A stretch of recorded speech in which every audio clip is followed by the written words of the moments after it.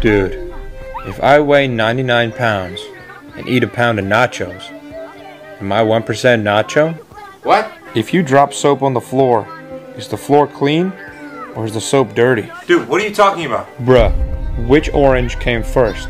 The color or the fruit? Huh? Oh, wait, you got a point there. If two vegans are arguing, is it still considered beef? Was there something in that apple juice you drank? If you were born deaf, what language would you think in?